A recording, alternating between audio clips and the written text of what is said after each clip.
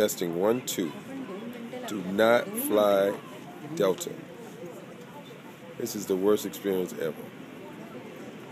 Me and my wife has headed out to the Bahamas thinking we're going to have a good time. We, I think we're going to have a good time once we get there.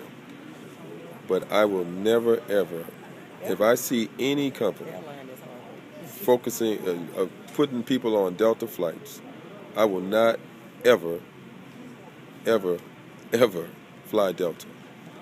Trust me.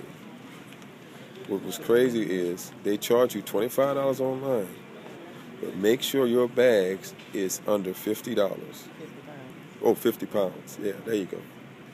Because they will tack on $75 if it's from 50 pounds to 70 pounds. And then anything above that, you're going to pay an extra $200. So, that's crazy. Didn't make sense, and they pimping people on bags.